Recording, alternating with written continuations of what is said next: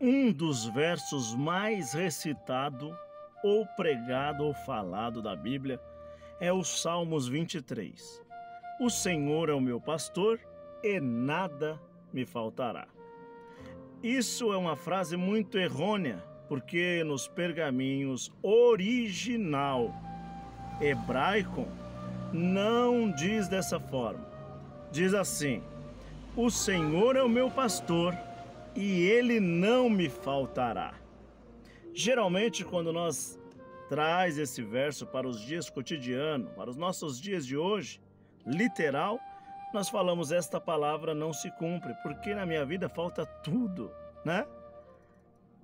Porém, quando nós traduz a verdadeira tradução, vai direto na fonte, nós vimos que é lícito faltar tudo, porque quem não é para faltar é o Senhor Jesus na nossa vida.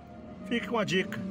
Tenha o Senhor na tua vida e a tua vida será uma outra história.